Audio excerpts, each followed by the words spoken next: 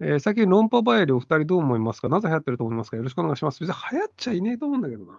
流行らせたのは完全にひろゆきさんですけどね。僕がこういうのやろうって言ったことは一度もなくて、流行ってるっていうか、恥ずかしい人たちだけですよね。子供か恥ずかしい人たちだけじゃないですか。論破っていう言葉を使うのって。そうそうそれを真に受けて言ってる大人の方がやべえなと思うんですよね。ですよね。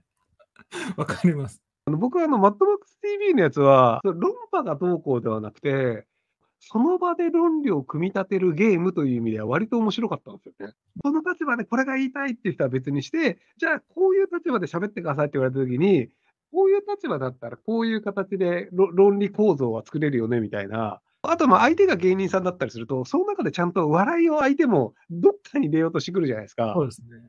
プライベートで、あんだけこう議論になることってないじゃないですか。どっちかが折れるっていうか、あ、分かった分かったってなるじゃないですか。そうですよね。あ、そうなんだ、ふーんってなってるんですからね。ああやってあんだけ、いやでも、いやでもって言い合え合えるっていうのは、ゲームとしてもなかなかないんで、それは面白かったですね。その角度でも逃げ道あるんだとかっていう。いや、普通だったらなんか、あ、確かにそうっすねで終わるんですけど、無理やりでもひねり出してくるじゃないですか。そういうレベルのが面白かったんで、一方的論破とかっていうところじゃないところで僕は楽しんでました。